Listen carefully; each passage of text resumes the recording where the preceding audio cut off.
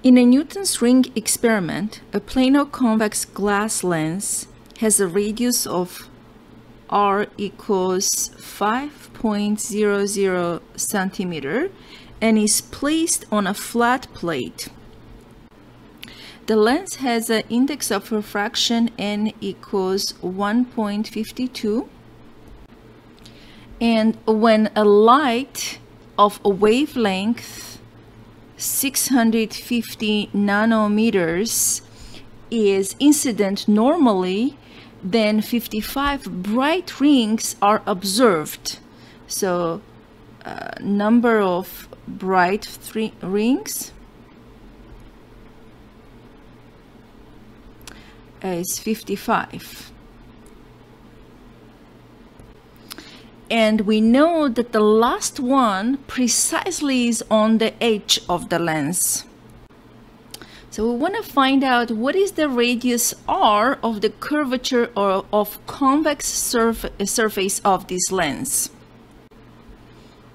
So let's uh, record our question. So the r is what we're looking for and we want to find out what is the focal length of this lens. So let's call this part A and then part B.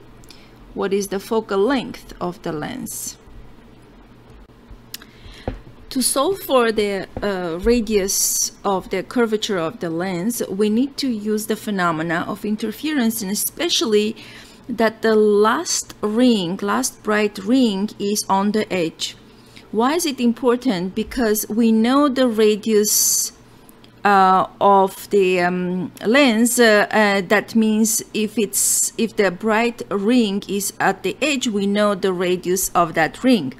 Knowing the radius of that ring, we can find also uh, the thickness of the uh, of the air wedge between the convex lens and a flat uh, glass.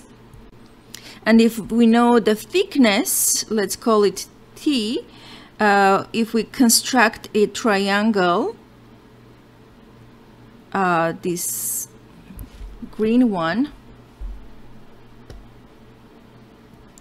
you will see uh, we can use Pythagorean theorem um, to solve for r. So if this is the radius of, of the curvature, the um, height of the triangle would be r minus t because this part was a t. Okay. And then Pythagorean theorem will give us r squared equals r minus t squared plus little r squared. So our job is to find this t. Now, because it's a constructive interference, and because we're dealing with the bright fringes, um, we need to use the um, um, condition for the constructive interference. Now to use this condition for the constructive interference, we need to uh, take into account two, two options, the phase shift and the path length. Well, if we look closely, we'll see that there are two places, two points in this um, in this configuration where the reflection happens. So when the light is passing through and transmitting through um, through glass, right? So it hits this point where um, it goes from uh, n glass to n air uh, where the glass is higher index of refraction, air is lower index of refraction. So inc inc incident ray is going to reflect from here.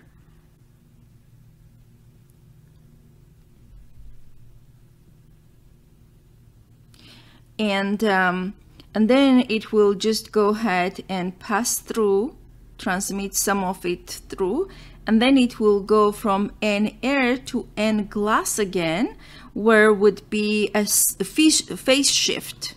Okay? So at this point we will have a phase shift because it goes from a lower index of refraction to higher index of refraction. So let's call this point A and call this point B And of course, our our um, uh, reflected rays 1 and 2 will interfere. And let's just record this like point at point A. Uh, there is no phase change. Uh, because n glass is greater than n air and it goes from glass to air. So for part uh, for point B, there is a half a cycle wave uh, uh, phase change, which is um, half a, a, wavelength in phase. So phase, um, let's just write it, phase shift. And um, uh, and that's because at point B, uh, the rays are going from air to glass and air is uh, has a less index of refraction than uh, glass. Now considering the path length um, difference which is 2t and the constructive interference m lambda plus the net phase change of half a lambda, I will get m plus 1 half lambda here, where m is uh, from changing from 0, 1, 2, and so on. Now from here I can find the t that equals m plus 1 half lambda over 2. The question is, what is our m? Um, we know that we have 55 rings, uh, 55 bright rings. What does it mean? 55 bright rings that includes the one m that equals 0. That means our m should be considered to be 54 because that's 0, 1, 2, 3, and 50, and so on 54. That will make it 55. So be careful with that. Now let's plug in our values. We will have um, 54 plus 1 half times the lambda, which we had equals 650 nanometers, 650 nanometers. I'm going to leave my answer in nanometers. Equals, divided by 2 equals 17.7 micrometers. Now that I have this value for, um, for the thickness, I can use it and solve for R in this equation. Now, before we use it, let's simplify this equation. So r squared equals r squared minus 2rt plus t squared plus r squared. Now r's will cancel out. We have a 2 big rt equals t squared plus r squared. From here, big R equals t squared plus r squared divided by 2t. And let's plug in the numbers here. I'm gonna convert everything to meters. Um, so for the T, we have 17.7 micrometer to convert it to meters. That would be 1.77 times 10 to the negative 5 meters squared plus for our R, we had 5 centimeters. Make sure that we convert this to meters.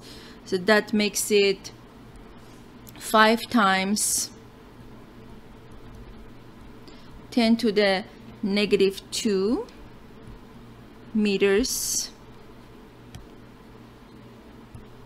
squared um, divided by 2 times 1.77 times 10 to the negative 5 meters. Now if we punch this into our calculator, we will get this equals 70.6 meters. Wow, that's a that's a very large radius. Very large radius. That means um, it would be almost not very clear if you look at the lens to see whether it is curved or it is flat. It's very difficult. Now for part B, to find the focal length of the lens, so we had our lens here. And we want to find the focal length. We know this radius, radius of this curvature, let's call it R2 and the other side of the curvature is flat. So this is r let's call it r1 and it's an infinity because it's flat right so and then using uh, lens maker's equation 1 over f equals n minus 1 1 over r1 minus 1 over r2 this will give us 1.52 minus 1 times 1 over R1 is infinity minus 1 over then R2 in this case will be negative 70.6 meters. So you need to review the sign convention for the lenses uh, and uh, when we punch this into calculator, we will get 0 0.52 times 1 over 70.6 meters. And so for focal length will give us 136 meters.